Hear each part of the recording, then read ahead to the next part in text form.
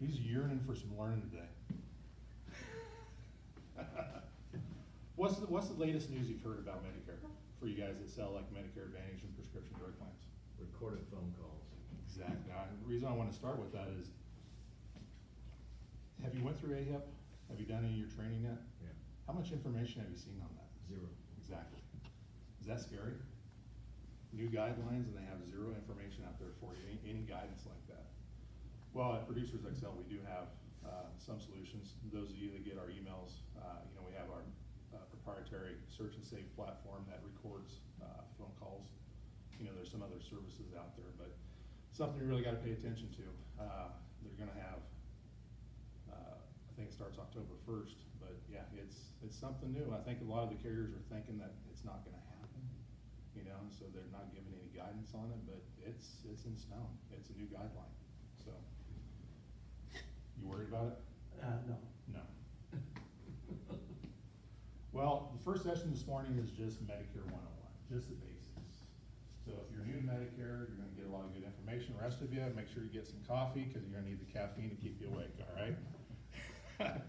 We're gonna talk just the basics of Medicare, what it is, how it works, nothing in depth. Those of you that are part of the second session, Medicare two oh one, that's where we dig a little bit deeper into, uh, Medicare Advantage and the prescription drug plans. So that one's a little more in-depth, uh, but it's gonna be a lot of good information for you. If you have questions, small enough group, raise your hand. More happy to answer any questions as we go through. So, why do you get into Medicare sales? Is there money to be made, those of you that sell Medicare, is there money to be made? Yeah. Yeah, a lot of prospects, ten thousand plus people a day aging into Medicare. When they age into Medicare, if they want a Medicare supplement, it's guaranteed issue, open enrollment, no underwriting or anything. It's one of those things, it's, it's, it's a great door opener for agents to sell Medicare, because again, you got ten thousand plus people a day aging in. Opens the door using Medicare, but you guys cross-sell Medicare? With other ancillary products like cancer, heart attack, stroke, dental, vision? Great opportunity for that. So again, why Medicare sells? A lot of prospects. As agents, you're always looking for prospects, right? What's the other reason to get into Medicare? Confusing. It is very confusing. By the time you guys are done today, you'll have a good understanding of how Medicare works. And believe me, you'll look like an expert when you're talking with your client, when it comes to Medicare. It's also Sorry. helpful just help, helping family members. What's that? It's also helping family members. Oh, family members, yeah. I mean, it's, uh, it's, it's amazing, you know, how we work with independent agents. I, I get calls, we read, you know, we're, we're always doing marketing to agents. But, you know, they're turning 62, 63. guess what? All of a sudden, the light bulb goes off and like, well, I'm, I'm, I'm getting close to Medicare age. I need to learn this, and all of a sudden, they start offering it to their clients, you know, to help educate them. It is confusing. As you can see, I mean, most people don't under, don't understand what, what, what is Part A? You know, that's your hospital insurance. What's Part B? That's your medical insurance going to the doctor's office and stuff. Part C is your Medicare Advantage, and your Part B is your, your drug benefits, you know? So it, it's, they get a lot of marketing, not just, you've seen the commercials. You know. The Joe Namath commercials are driving everybody crazy. Oh, it is crazy. He's after eleven million, two hundred thousand people on Medicaid. Or you got JJ, Yeah. Dynamite, you know, he's on there too. You got, oh, Joe Montana, you know, he's on there. They're all doing it. But, well, that's part of the problem. The reason why CMS came out with the new guidelines is a lot of it is to do with the call centers. The call centers abuse the system. And, you know, it's, I get phone calls every day trying, you know, I'm so-and-so, had them enrolled in a med sup and they got enrolled into a Medicare Advantage plan. They're not even in network, doctors aren't in network.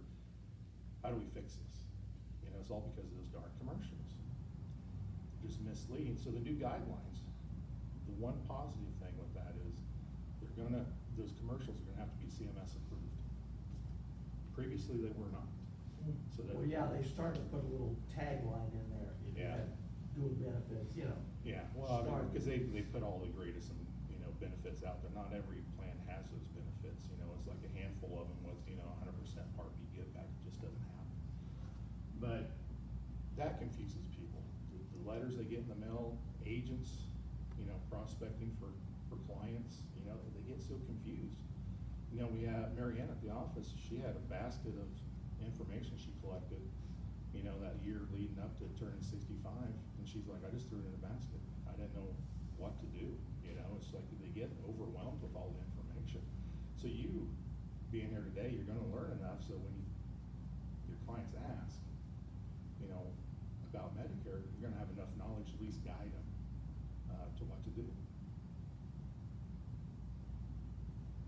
So again, you know, why Medicare sales, one, ten thousand plus people a day, Agent N, uh, gives you the ability to be that expert in Medicare, because it's very confusing. And again, it's, it's, it's, it's something they have to have. When they turn sixty-five, they get Medicare A and B, they have the option to go to a Medicare Advantage plan, or they pick up a Med Sup and what, a Part D plan. Part D.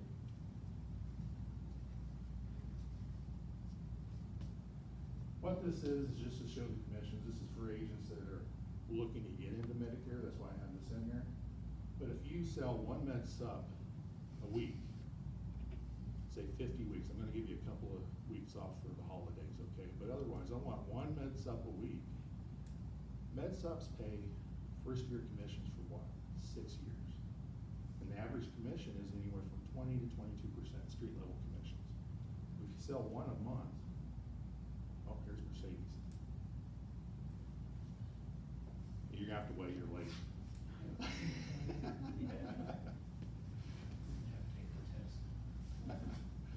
But if you sell one a week, fifty a year, you can bring in that extra, extra reoccurring revenue to your agency.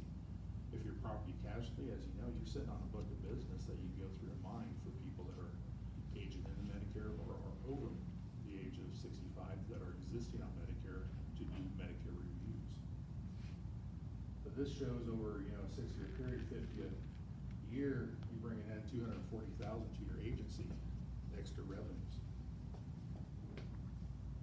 Sorry, we gotta get a drink here.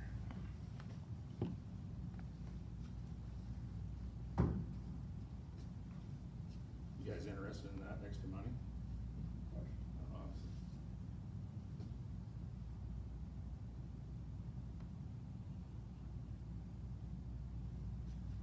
So, you know, just to recap, ten thousand plus people turn sixty-five, Medicare is standardizing in. So what I mean by standardize is, you know, you got Medicare Part A and B, a Med Sup, a Plan C is a Plan, Plan C. A Plan F is a Plan F, a Plan G is a Plan G. It Doesn't matter if you go to Humana, Aetna, Mutual of Omaha, Cigna, it's standardized. Simplifies it a little bit for you. So why does Medicare? Medicare is a federal funded health insurance program for people sixty-five years or older. Uh, certain people with disabilities can qualify for, uh, Medicare under age sixty-five. You know, after twenty-four months on disability, they can get, get Medicare. Uh, end-stage renal disease, permanent kidney failure can qualify for Medicare. So it's not just for people sixty-five and older. You know all this too, don't you? That would a presentation. Did you know Lyndon B. Johnson, nineteen sixty-five, uh, started the Medicare system? Uh, President Truman was the first person that signed up for it. Good little fact. Trainings, I have a little, little game, and we ask, you know, we have little quiz questions like that, but I'm gonna take it easy on you. But that's a good, fun little fact, in nineteen sixty-five, Johnson is one that signed Medicare into law, and then President Truman was the first one to actually sign up for it. So what government agencies are responsible for helping with Medicare? So you have the Social Security Administration as one source, uh, Medicare.gov. Uh, you can enroll into Medicare, if you're enrolling into Medicare, uh, both at the same time, you can go through SSA.gov. Uh, They enroll most people into Medicare, uh, they collect the Part B premiums, things like that. Uh, with Medicare, you got A and B of Medicare. Part A, most people qualify for free Part A. You know what that qualification is? Forty-four quarters. Forty-four quarters, ten years? Yep. So you pay in your taxes, you qualify for premium-free Part A.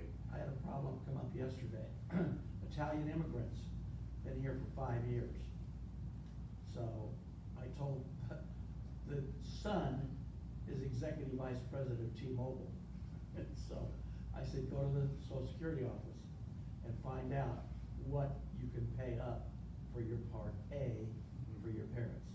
Cause if they've been paying taxes for five years, they're gonna be short. So I don't know if they're gonna have to pay four forty-nine or, what for their part A. Hmm. But they're seventy-five years old and they're paying two thousand dollars a month for the Affordable Care Act on seventy-five-year-olds. That's tough, yeah, Not good, not good at all.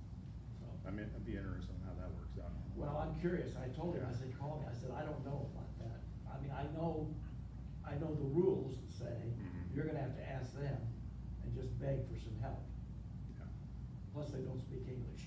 No, that makes it more difficult. Yeah, for most Americans, uh, you know, if you pay in your Medicare taxes for ten years, uh, it's premium free. Uh, for individuals, I mean, there's penalties I'm gonna be covering here a bit later, but I mean, there's penalties if you don't qualify for premium free part A, and you should sign up for it, and you don't, you know, there's penalties there. If you don't sign up for part B when you should, there's penalties there, same with the prescription drug plan. So it's the government, if you don't do it, they're gonna penalize you for it. I think we're all used to that, right? Yeah.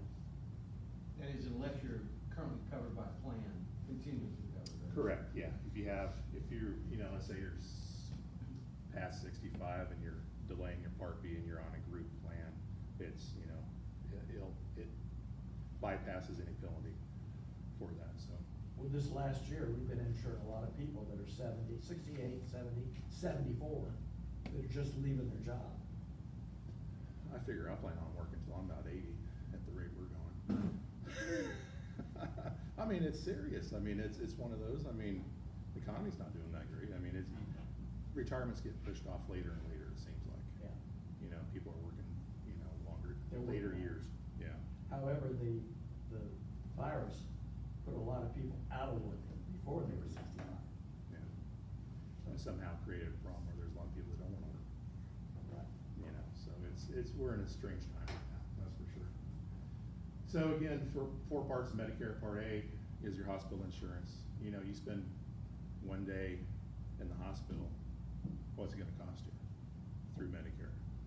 Fifty, hundred, fifty-six dollars, I believe, you know, for one day in the hospital. So, you know, that leads up to the importance of having some sort of a supplement. Or if you look at a Medicare Advantage plan, you know, it helps cover those uh, deductibles and co-pays.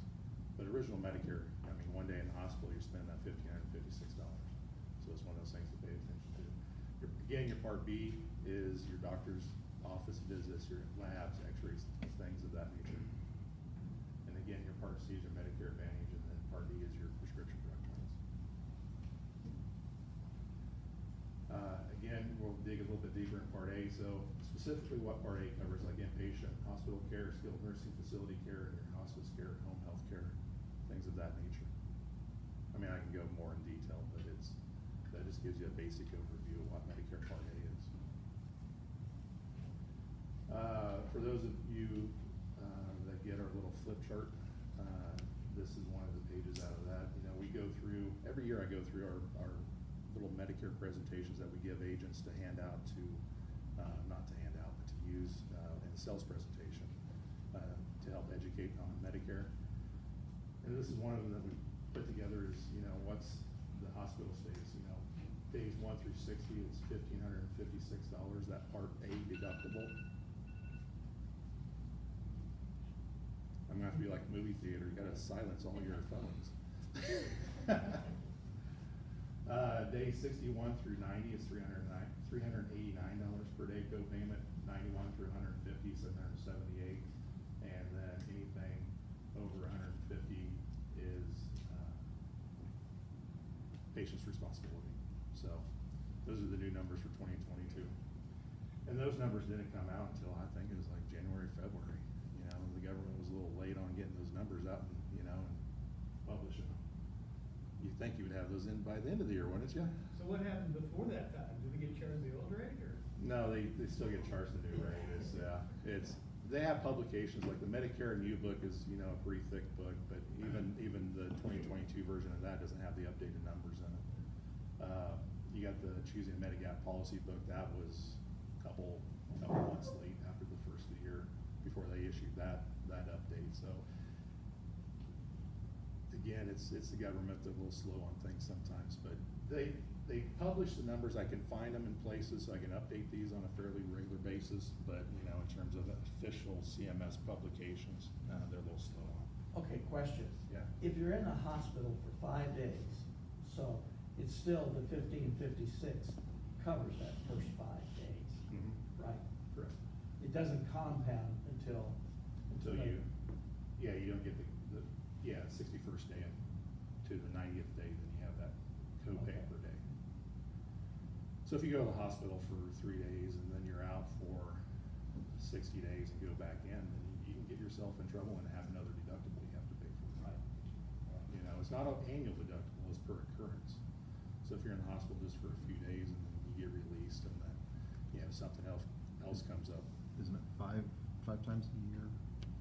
Isn't there a, It's, if it's, yeah, it's max, times. If the it's related max. to the same issue, it's under the same yeah, but. it- deductible, yeah. Correct, but the emphasis I was just trying to point out is just not an annual thing, you can, you can be charged that multiple times.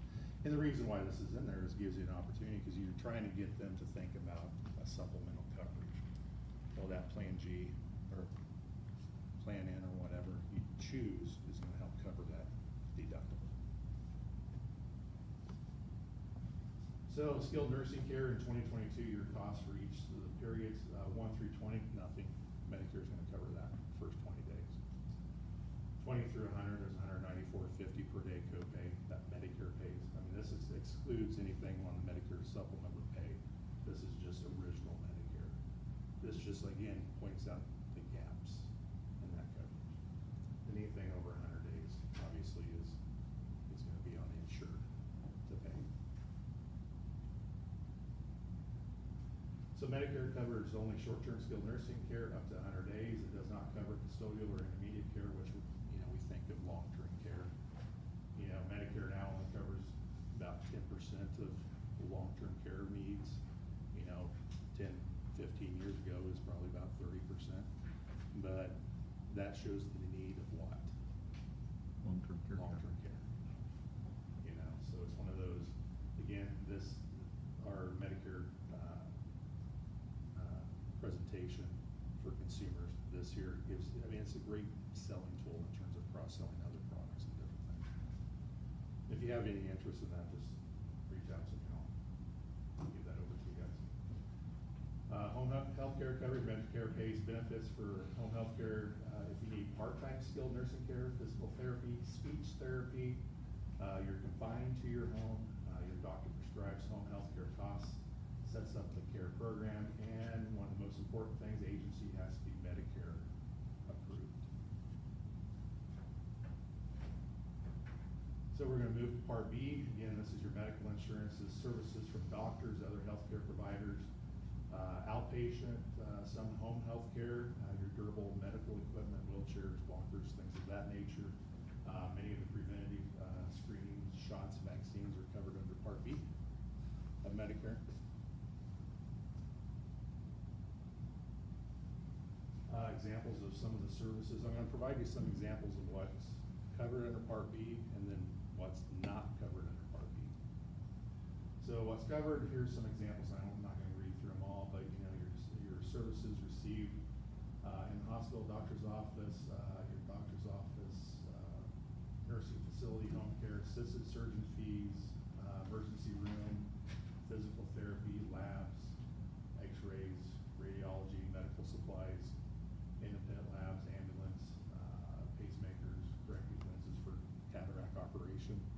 these are, you know, it's just some of the things that Medicare pays for.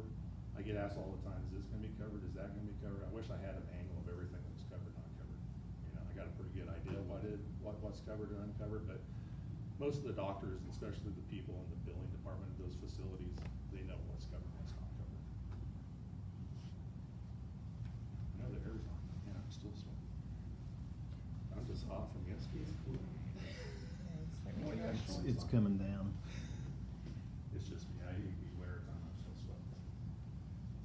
So what's not usually covered, this is what I would like you guys to pay more attention to, is what not is, what's not covered.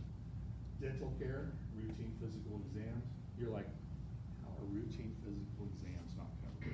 Did you know that? How are they covered? You're thinking. Routine, you know, you got the Medicare annual wellness check, but it's not an actual physical exam. Physical exam is taking your measurements, doing blood work. How do doctors get by and get Medicare to pay for those things? Well, if you have an underlying health condition, I'm, I'm diabetic, if you have high cholesterol, you know, or some other sort of health issue, then they can get your blood work and do your physical exam, and then Medicare pays for it that way. But in technical terms, actual physical examination is not covered by Medicare. But thank goodness doctors know how to get paid for it and how to code those things up right. It all deals with underlying health conditions. Uh, chiropractic services except for manual manipulation, outpatient hospital, cosmetic procedures, uh, not medically necessary. I'm gonna go into, some of these a little bit more in the second session, but, uh, lab tests not medically necessary. On the right column, uh, some things to pay attention, to dental plates, orthopedic shoes, first aid, eyeglasses, hearing aids, dental, vision, hearing. Uh, that's a great cross-selling opportunity with Medicare, because Medicare doesn't pay for it, and Medicare supplement doesn't pay for it. Now, your Medicare Advantage plans may have some of those benefits built in there, but original Medicare and MedSup does not. So it gives you a, a cross-selling opportunity on that. How many of you sell Medicare Advantage plans? You've done it, Sean. Come on, I want participation, it's just an honor, come on. Did you have a question? No. No, all right. That's just from, uh, my. Just- You're notching, you just bought it. So Medicare Part C, that is your Medicare Advantage plan. So an individual goes out and they get original Medicare A and B. They have the option, do they want Medicare to take care of their billing? Or do they, they have the option to go to a private insurance company? And I'll throw out Humana, for example, as a private insurance company you go out to, get a Medicare Advantage plan, and that Medicare Advantage plan is gonna take care of your Medicare billing? Do you guys ever wonder how Medicare Advantage plans charge zero premium? How can they offer it for free? Because they're paying them in advance. They pay them in advance. Well, you paid in your Medicare taxes, right? So what does the government do? They just shift that money over to that insurance company to take care of your Medicare needs. Yes, So you already paid for it. That's why it's free. Yes, they do. So that's how that works. They give them ten grand to take care of you. Yeah. And based on health conditions and different complications that you may have, they may get more money from Medicare to, to, to take, take care of those services. And what I've heard here recently, and I've read in some articles, uh, we might be on the lookout of seeing a big change in Medicare to where it almost looks like a advantage plan.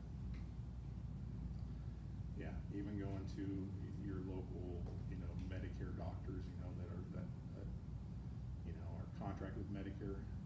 I've heard that that is a possibility that those get turned into some sort of a network type situation. So this is like twenty thirty, so it's down the road. You won't have to worry about it. I don't have to.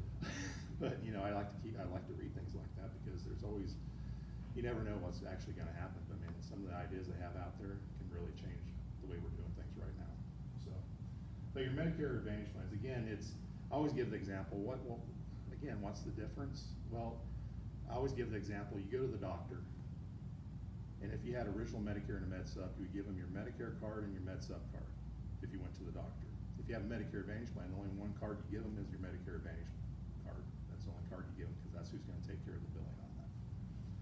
So again, on the other side of it, it's, it's Medicare working with your Medicare supplement, is how the taken care of. But again, your Medicare Advantage plans, uh, you know, there's different networks, there's HMOs, PPOs, private fee-for-service plans. You got your SNPs, special needs plans, you know, I don't see the C-SNPs. well, it's just part of the SNPs. C-SNPs, D-SNPs, I-SNPs, they're all part, part of the SNPs. SNPs. So, your most confined network is probably your HMO, because you gotta, with the PPO, you have the ability to go outside of your network, usually at a copay cost of maybe fifty percent. But you, at least you have an option to go outside of network PPO. HMO, you're pretty much stuck in that, that network. In the private fee for service, there's some of those available, obviously, and then your special needs plans are, uh, like Mike was saying, they're like C-SNP, which is based, you know, if somebody has certain conditions like asthma, cancer, or something like that, they can qualify for special Medicare Advantage plans. That you, that, that tailor those benefits for those people with those conditions. So your Part D plan, uh, again, that's your prescription drug plan. Part D plans, I believe, came about in two thousand six. Uh, previously to that, some of the medications were paid for by, by Part B if they were administered in the office, things like that. Otherwise, you heard stories of seniors not buying groceries because they had to buy their drugs. So the Part D plan came about. Uh, It's not perfect, but it's a lot better than what they had before. So it's a program, uh, you know, the government has negotiated uh, drugs pricing uh, with the pharmaceutical companies on the benef, for on the behalf of the Medicare beneficiaries. And so Medicare beneficiaries, if they don't have some sort of credible drug coverage, then they have to get a Part D plan at age sixty-five. And uh, your VA benefits is considered credible coverage. So they don't have to get a drug plan, like father-in-law has VA benefits, so he doesn't have a drug plan, he just gets everything through the VA. But he doesn't, not, don't have to worry about the penalty that way. But again, it was something that they brought about, uh, in two thousand six, just because they didn't wanna see seniors, you know, going without food to buy their medications. And Like I said, it's not perfect, but it's a heck of a lot better than what they had before, which was pretty much nothing. So, again, people, they are required to have it, or some sort of credible coverage, uh, comes to prescription drug plans, because if not, then you're gonna be penalized. And so, again, that's how they, they get people to utilize the program is, you know, put those penalties out there, uh, for that. So, you know, like Medicare itself, you gotta have money coming in and have money coming out, so. So Medicare enrollment, I'm gonna have you guys pretty confused here in a few minutes.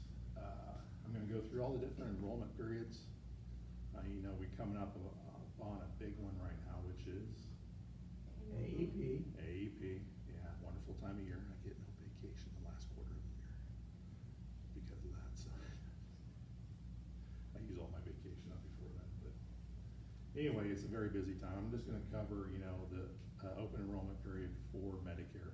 Uh, Open enrollment period for Medicare supplements, uh, and just show you, you know, some of the different, uh, time constraints that you need to know when you're talking with your clients. So Medicare enrollment, you know, it, the roles, depends on what their age is. Uh, are they continuing to work? Do they have group insurance? Are they coming off that group insurance? Uh, do they get social security disability, railroad retirement benefits? If they're collecting that before they're, four months before they're sixty-five, a lot of that's gonna be automatic for them. For most Americans that are turning sixty-five, they have to be proactive and enroll into Medicare. cause in the old days, social security used to send you a thing and enroll you. Mhm. Now they don't, No, they don't. cause people just say, I didn't know I was supposed to do something. Yeah, yeah, I, I think some of that is, I read something uh, a while back on CMS is changing the way they're approaching beneficiaries that are aging into Medicare, so they're better informed than what they were in the past. Well, they used to send people an A, they don't even do that. Yeah.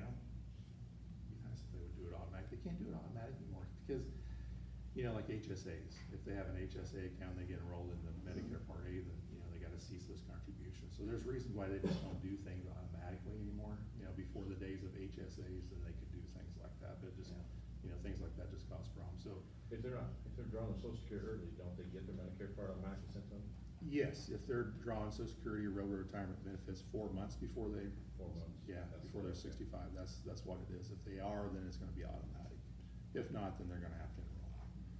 And, uh, I think in the last six years, I've came across two cases where it was automatic, otherwise everybody else, I mean, like I said, most people have to be proactive and, and enroll. So, it's an agent's responsibility to educate the client and say, hey, you're coming upon age 65, you got the three months before the month of and three months after to enroll. But I'm going to show you, you got to really emphasize on those first three months before they turn 65, or it can delay their Part B coverage and different things like that. So it's, you don't have that Medicare number, it can delay a lot of things. Uh, here you go. Uh, you know, if they're getting the benefits four months of Social Security income or regular retirement benefits four months before they turn 65,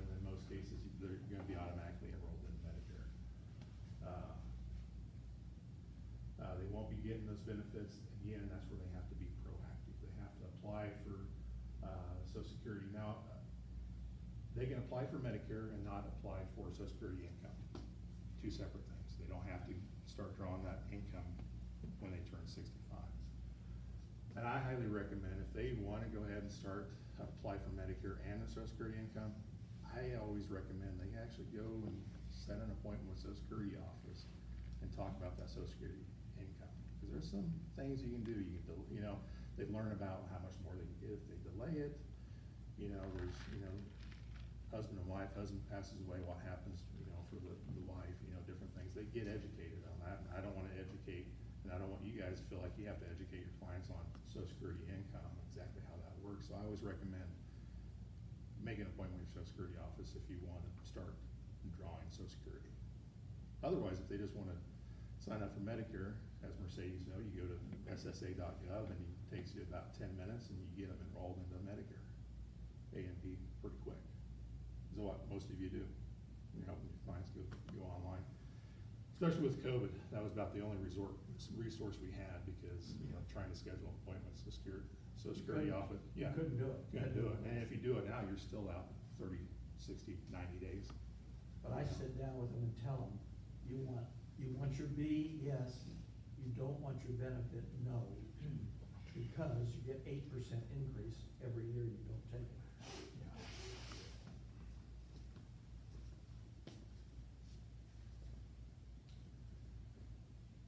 Uh, you can also call a phone number, they got the, the ability to enroll online, and then if it's delayed, you know, if you got a person that, uh, maybe they picked up Part A when they were sixty-five, they worked till they're 67, 68, and now they're coming off that group insurance, cause they could delay that Part B. There's two forms, uh, to use to fill out to get that delayed Part B. One, the client has to fill out, the second, their employer has to fill out as proof that they're coming off that group coverage. So it's just two forms. They can delay part A too, though, right? They could technically, yeah. I, you know, that's a bit of a debate I've had here recently is, should they just delay it do it all at the same time? But I'm like, I'm one of those, if you, if it doesn't cost anything, and you're not affecting a, you know, your HSA account or anything like that, then I would just get it, then you got your Medicare number. Then when you turn sixty-five, you're not waiting for that number, cause that number can be delayed 60, 90 days. That's how slow they've been getting those issued. And so you have that number. So when they turn sixty-five, cause you have to have that number to enroll into a Part D or Medicare Advantage. You gotta have, especially on the Part D plan, you gotta have a Medicare number. You can't, like on the Med Sups, you can fill out an application, put pending, applied for eight one twenty twenty-two, and they'll take the application. Prescription drug plan, if you don't have that Medicare number, then they're, they're not gonna take the application, so.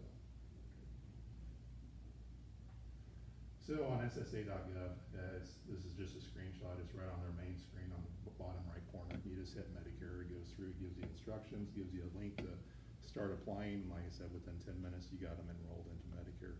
There, there's been some hiccups with security questions. They ask questions like, did you live at this address five years ago, da, da, da, you know, that kind of thing. And sometimes that information is not correct. You know, I would say about one out of twenty I've had issues on, of people going through and doing it online, but for the most part, it works pretty well. Have you had any issues? Um, like two. Yeah. It's So- going cleaner now than it used to be. Yeah. A couple of years ago, it was a disaster, but lately, that, it hasn't been a problem at all. Yeah, it's not as bad now. Good deal. Glad to hear that because, i- yeah, it's, it's, it's the way to do it. I mean, it's, it's easy to do online. So the next few slides are where I'm gonna dig into the different enrollment periods and different things like that. Get off your laptop and pay attention. I can tell him that, I work with him, so. He's probably preparing for his class.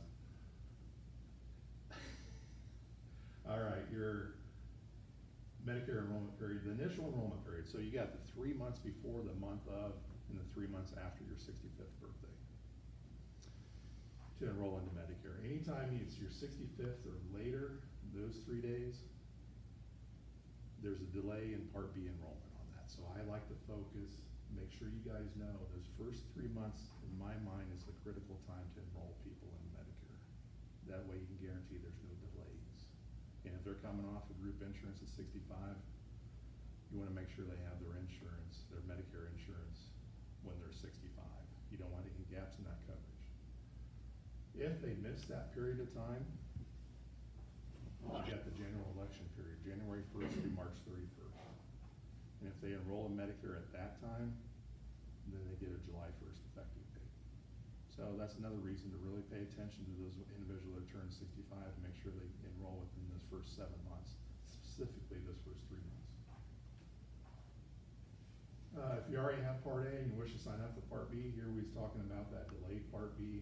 The two different forms, the CMS forty B and the CMS L five sixty-four are the two forms that are needed. These are just screenshots. This is the application that the, your client will fill out with basic information. Nowhere on there does it say, hey, I want the start date to be this. Is that amazing? So I always recommend in the remarks section, just put a note that says I would like the start date to be eight one or nine one. You know, most of them will look at the termination date on the next form of your employer, but I always, eh, you know, you're dealing with monkeys on the other end, sometimes they don't do things right, so I always like to make sure it's noted on this form. This form here, the L five sixty-four is the form that, uh, your, a lot of the HR departments will have this already and they can fill it out. If not, then your client's gonna have to take it to them, they're gonna have to get it filled out. It's gonna have to be signed by, uh, official person at the, the company that shows their start date, termination dates and all that information. The HR departments normally have it. They normally do, Yeah. yeah. But it's still amazing that some of them have no clue Oh, on most what of them, they're. I've, tell people, they're like, don't worry about it, I think I just send it with them. Uh, okay, so I, this is just a little bit of a recap. Again, the critical time, I think, for people that are turning sixty-five to enroll in Medicare is those first three months. Technically, you got those seven months, but those first three months, I think, are critical. So you gotta think ahead. If you got, if you, if you're doing email campaigns, social media campaigns, you're trying to, well, especially emails, you're, you're talking, targeting specific people, maybe from a, a mailing list or a book of business, you know, you wanna reach out to them, not three months before they turn sixty-five, but more likely a year before they turn sixty-five. And about every quarter, you're gonna reach out to them, uh, to remind them, hey, important time of the year. Hence the reason why they get so much information in the mail and they get so confused, but if they're one of your clients on your existing book of business, they're gonna know you, they're gonna pay attention to it. Now, if you're prospecting, you know, somebody new, your stuff is gonna get thrown into the pile like everybody else's, but trying to reach out to them so you, you can get them enrolled within those first three months. I mean, I'm, I got a call yesterday, hey, I got this person, I need to get them enrolled in Medicare for eight one. Oh. You know, the, the timeframes on some of these things is, yeah. How effective have you seen people purchasing lists of people turning sixty-five? Let's grab it, grab some dice and toss it out there. I mean, it's hit and miss. I mean, we went to the Medicare conference in Vegas, uh, was it, last month? And ninety percent of the vendors there, guess who they were? Lead generating companies. And I've talked to how many of those, and it was just the same spill, just a little different take or whatever, you know, but I haven't had a chance to actually sit down with them, actually, you know, get presented on exactly how they do their stuff. I like to see, you know, I mean, I mean, there's options, you know, getting a mailing list, there's options of direct phone call transfers, I mean, there's a lot, I mean, it depends on, if you wanna spend the money, you can spend the money on whatever you want. Uh, but in terms of my experience with those leads, I mean, it's just hit and miss. Our company's probably gone through six different vendors, two, two of them from that Vegas conference. Um, They were out there in March. I don't know if it was a different conference or if that's the one you're talking. Ours are,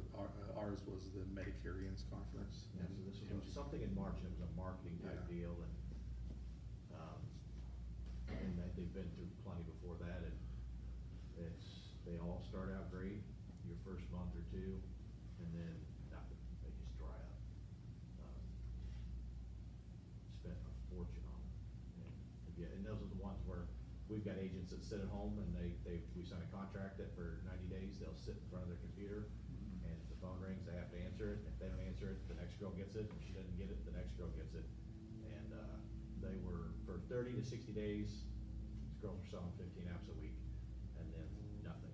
They just dried up. And then it turned into nothing but Medicaid and people looking for anything and everything for free. Um, so none of them have been great yet. Yeah, well, that's pretty much lines up with my experience with them. So it's, yeah, it's just, it's tough. You know, when we go through our marketing class, it's, you know, it's, always try to keep things simple, you know? The- biggest thing is just getting the word out there that you can help people with Medicare, you know, if you guys do newsletters, or do social media, you know, things like that, just, you know, when you're, when you, you have some publication going to people, just putting on there that you can help them with Medicare. I, I had a meeting with a agent up in North Dakota. He gets most of his clients through a publication, a firefighter publication. He does an article every time, and then he, he changes the topic of that article, but seventy percent of his business comes in that way. So he's gonna do one on Medicare, you know, just not flat out, you know, hey, I can help you with Medicare, but, you know, a Medicare topic, you know, and he'll get, I mean, he has really good feedback. He gets 60, 70 percent feedback from that article on that. He, he's, he's ranked number two in that publication. I go, what, what's number one? The lady with recipes? I said, well, just add a little recipe at the bottom of your article, you'll have it, you'll be a win-win situation, but like I said, how do you do it at the credit union? Uh, well, mostly, I mean, I never have to call cold leads, everything is members. Members, With the yeah. credit union that are near sixty-five, and Yeah. I just. But they know that you do it. you And they know you that I do, it, yeah. There's a guy there that did it for, what, seven years before me. Mhm. Um, but a lot, everybody that comes in, they're just, I didn't know you guys did this, I didn't know you guys did this. Um, so, So- they're trying to push it a little bit more than what they had been. But the biggest thing is just pushing it out there. I mean, especially you come, you guys are coming across AEP coming up. You know, just a simple advertisement in the paper or, you know, if you're, if you're not on social media, you should be on social media.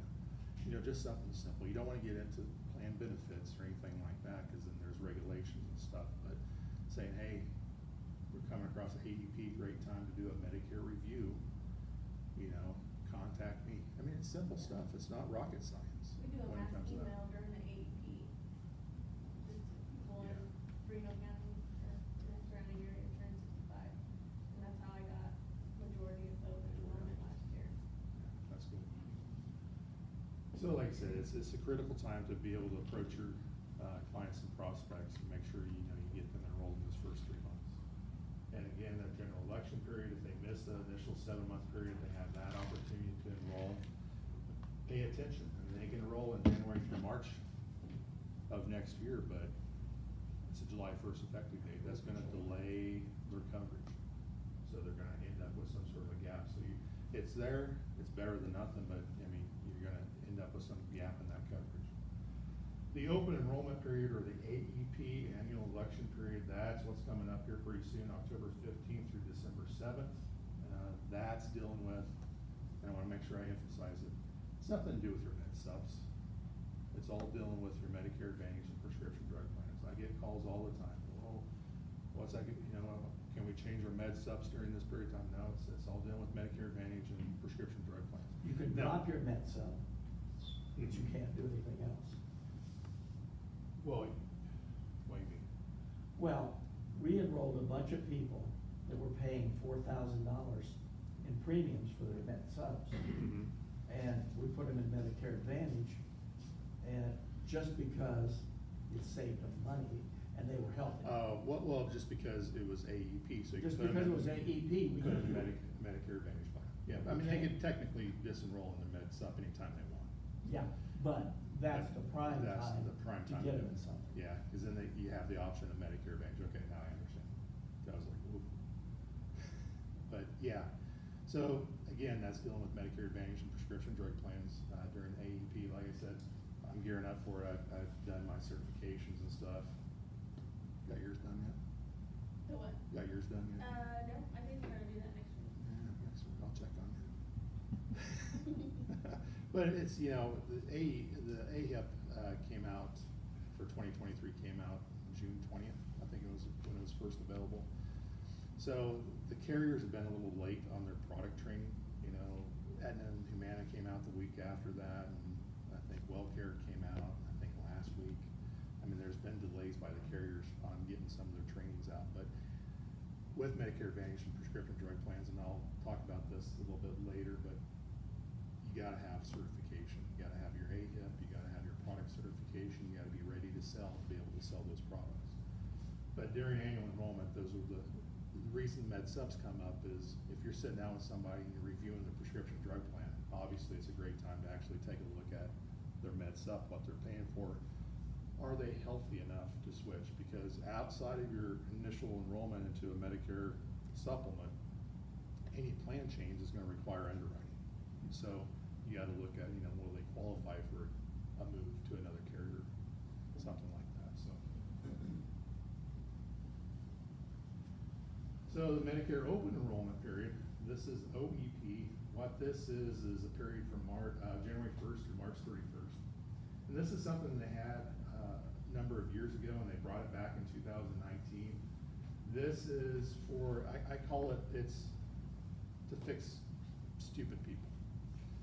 And, cause you have people that enroll into Medicare Advantage plans during AEP, but they may have been with an agent that didn't pay attention to who their doctors were, what network, you know, provider area they were in.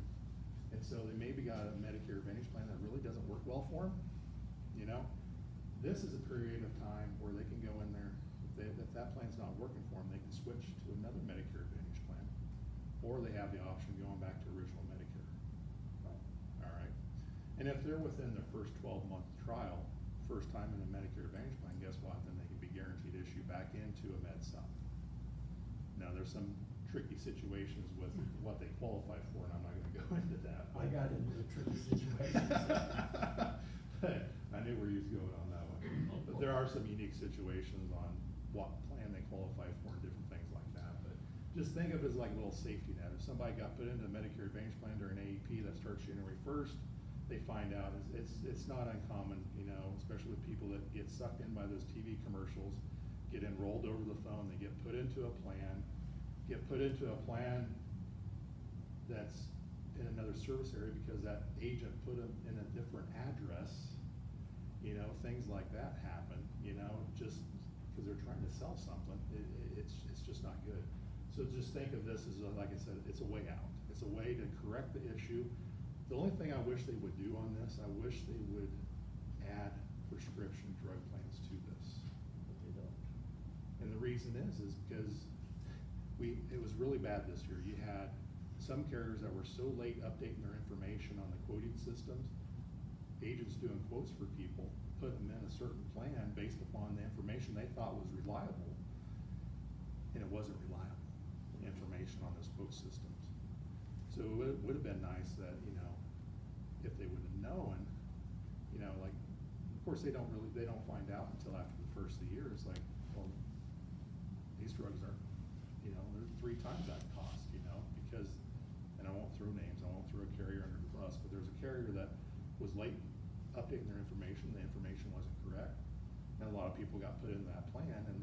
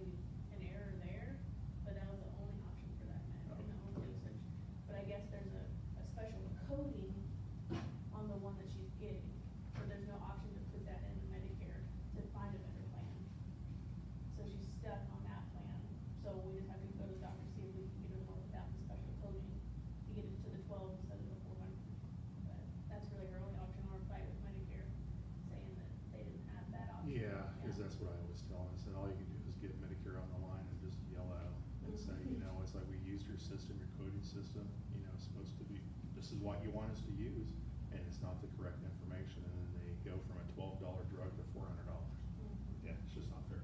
I wish they would add it to this. You know, I, I, why don't they? I mean, why does it hurt? Give them a one-time change during this OEP to to make a change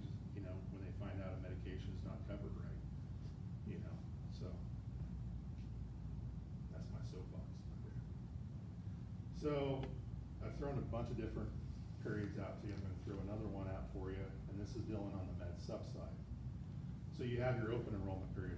The thing to remember, uh, because some of you live in areas that, you know, Medicare Advantage plans just don't work. You do, so, you know, like from here, western Kansas, it's med sups, you know. So, most, most people are gonna get enrolled into Medicare Advantage plan. So, when you get on original Medicare, so you have your A effective date, your B effective date, a lot of times it's the same effective date. But what to remember is for open enrollment for Medicare supplements is six months from the Part B is in boy effective date. So within those first six months of that Part B effective date is when you can get onto a Medicare supplement and don't have to go through any underwriting. You don't have to answer any of the health questions. So another reason, it's like, why aren't you offering to help your clients with Medicare when they need the help and you got something that's guaranteed issue for them, they don't have to qualify for, you can make money. I mean, you're doing what you need to do for them, providing them a benefit. And if you do it within these certain constraints, like the six-month period of the Part B effective date, you don't have to worry about underwriting, you don't have to worry about something, getting- something getting declined. So it's just another thing you gotta pay attention to. So I'm gonna go through the penalties a little bit, so you are aware of those. Again, the government puts those penalties in there just to make sure they got participation. You know, it's just like, you know, if you don't pay your taxes, you're gonna be penalized. I mean, just like everything else. You're gonna have me on recording, and I'm not a big government fan when it comes to penalties and everything else. So Medicare, the Part A, like, again, most people get that free. Ten years of paying in your Medicare taxes, you know, that person's gonna get Medicare for free. But for those that don't qualify for free Medicare Part A, and they have, they're gonna have a, premium. If they don't enroll in Medicare Part A when they should have, when they're first eligible for it, they're gonna be penalized. Okay, it's a ten percent penalty, uh, that's gonna be added to that premium. If they go two years where they should have had Medicare Part A and they didn't do it, they're gonna end up with four years of penalty that they're gonna pay on that. And after that is done, then the penalty will be done, you don't have to worry about it. But there is a penalty, like I said, most people get it for free. You know, if you have situations where, and I, I came across this here recently, where the husband has worked forty years, but the wife was a stay-at-home wife, raised the kids, you know, never really worked, good thing is, with him working like he did, guess what? She can actually qualify She for, qualifies. she qualifies too. So they take those into factor too. That was a trick question on the test. Yeah, well. So part B, uh, there's a penalty too. Uh, what it is, is for each year, each twelve-month period they go without having part B is a ten percent, uh, penalty. But the thing of it is, it doesn't disappear. So if they have a penalty, when they finally sign up for Medicare Part B, that whatever penalty they have, they're gonna have it for the rest of their life, unlike Part A.